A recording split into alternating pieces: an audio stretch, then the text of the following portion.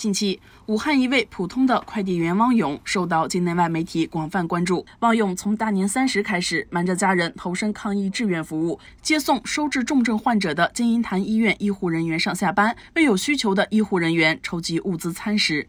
中新社介绍，汪勇的微纪录片《武汉志工》在各类视频网站的播放量数千万次。他的事迹不仅被中央电视台等中国多家媒体报道，而且受到美国有线电视新闻网等西方主流媒体关注。近近日，汪勇再次走进中心视频的镜头，讲述他出名后的变化。随着疫情逐渐被控制，现在汪勇已经复工，但他还继续参与志愿服务。每天早上先为酒店的医护人员送早餐，随后到办公室打卡上班。公司也支持他把志愿服务做下去。汪勇关注到，不少医护人员长期高负荷工作，对心理健康需求越来越多。对此，他对接了心理咨询平台，募集图书放置在医护集体入住的酒店，购买一些零食、生活用品等，提高医护人员生活质量。汪勇也感慨，出名后自己的号召力更强，现在做志愿服务沟通更高效。我现在出去谈一些事情，就比如说医护方面，我需要。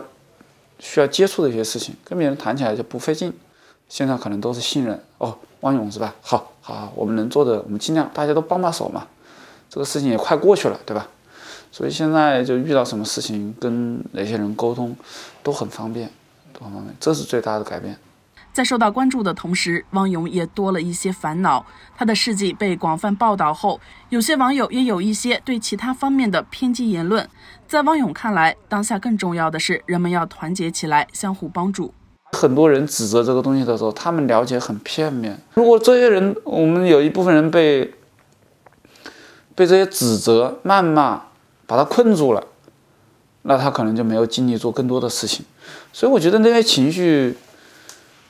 没有什么作用，没有什么实质性的帮助作用啊！疫情过后，那个经济的复苏需要多大人的努，多少人的努力？每个人都会很难。但是如果说大家都互相帮忙一下嘛，对吧？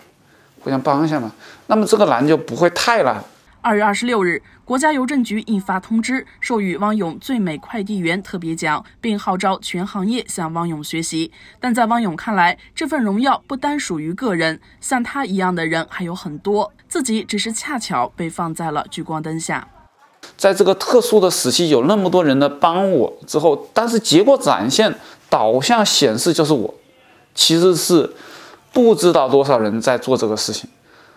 但是大家可能看到的聚光点就在我这个人身上而已，其实都是好多好多的志愿者，好多好多的企业，包括一些政府的部门，共同努力才展现出来，我们遇到的困难都被解决。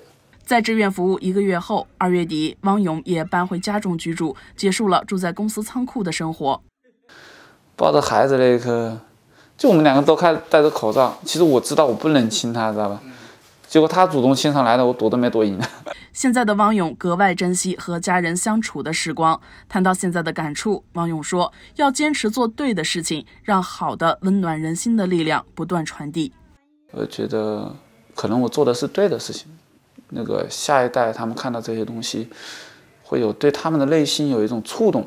就是我如果以后长大了，我有能力了，我遇到什么事情，我可不可以这么做？我会不会有一定的担当？会不会做出站出来贡献一份小小的力量？更多精彩尽在中国新闻网客户端。